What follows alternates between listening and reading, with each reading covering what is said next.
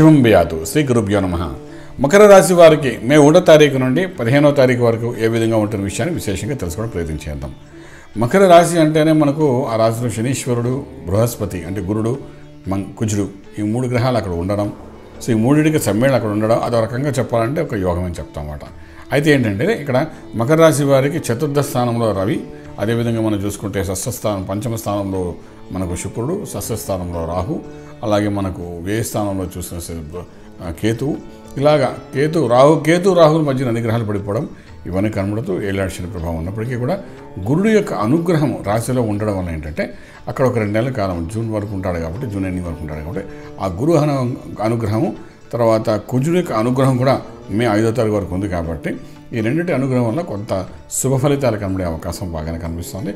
ఆ తర్వాత మే ఐదో తారీఖు నుండి పదో తారీఖు మధ్యలో కుజుడు వేరుగా కుంభంలోకి ప్రవేశించిన తర్వాత అక్కడ కూడా ఏంటంటే కుజు కలయిక నుండి బయటపడుతున్నాం కాబట్టి అది కూడా ఒక యోగంగా చెప్పడానికి అవకాశం ఉంటుంది.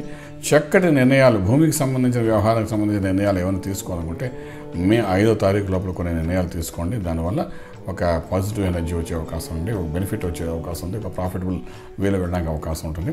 రాజకీయ రంగంలో కానీ వాళ్ళు ఉన్నతమైన స్థాయికి వెళ్ళడానికి చేసే ప్రయత్నాలు కానీ ఏదైనా అగ్రిమెంట్స్ కానీ సంతకాలు కానీ లేదా పోస్ట్ కోసం చేసే ప్రయత్నంలో సక్సెస్ఫుల్ అవ్వడానికి మే ఐదు వరకు బాగానే ఉంటుంది. మే ఐదు తర్వాత కుజుడు మారిన తర్వాత కొంచెం బలహీనపడే అవకాశం ఉంటుంది. అలాగే మనం చూసుకున్నప్పుడు గురువు యొక్క బలం అక్కడ ఉంది కాబట్టి గురువు అనుగ్రహం అయితే పూర్తిగా ఉంది కాబట్టి వీళ్ళు చదువుకునే విద్యార్థులకు మాత్రం చక్కటి ఫలితాలు వచ్చే అవకాశం ఉంది.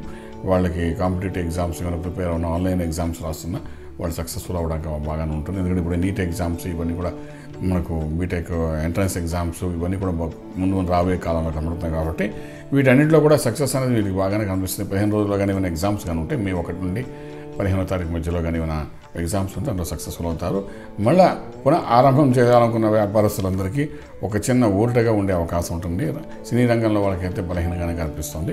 హోటల్ ఇండస్ట్రీ వాళ్ళకి మళ్ళీ ఒక ఊపు ఒక ఆనందకరమైన వార్త శుభవార్త పదిహేనో తారీఖు లోపల వినే అవకాశం అయితే బాగా కనబడుతుంది. ఏదైనప్పటికీ వీళ్ళు చేసుకోవాల్సింది అంటే ప్రత్యేకించి మనం శనీశ్వరుడికి ప్రత్యేకమైన జపము తర్పణము హోమము సంహారాధన.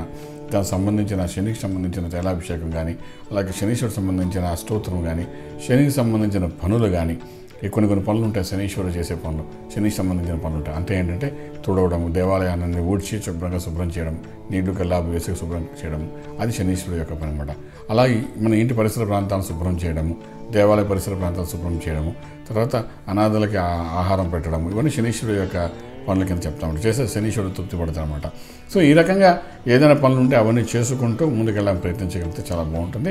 రాజమార్గంలో రాజ్యోగం పొందుతారు. అన్నిటికన్నా ముఖ్యమైన విషయం ఏంటంటే వీళ్ళకి యోగం ఇప్పుడిప్పుడే ఇంకా ఆరంభమవుతోంది. ఒక అద్భుతమైన యోగము. ఆ యోగాన్ని అనుభవించడానికి కుజుడు ఉన్న కాలంలోనే రాజకీయ రంగంలో వాళ్ళు కానీ రియల్ ఎస్టేట్ కన్స్ట్రక్షన్స్ వాళ్ళు కానీ ఏదైనా ఇనిషియేట్ తీసుకోవడం ప్రయత్నించండి ఐదో తారీఖు లోపల కరోనా మూడో తారీఖు ఎత్తివేస్తామంటున్నాం కాబట్టి ఐదు లోపల ఏదైనా సంతకాలు పెట్టడం ప్రయత్నం చేయగలిగితే మాత్రం డెఫినెట్గా సక్సెస్ ఉంటుంది. రాజమార్గం రాజ్యం పొందగలుగుతారు. శుభం వ్యాధం. పూర్తి వివరాలకు సంప్రదించండి. Shri Vedamata Gayatri Jyotishyalayam. Brahma Srimantha Suryanarayana Sharma. Srinilayam first floor one not one Sai Vaibhav layout Chitrapuri colony Khajaguda Hyderabad five lakhs eight. సంప్రదించవలసిన phone numbers triple eight triple five nine one four seven triple eight triple five nine one four eight nine eight four triple nine six triple four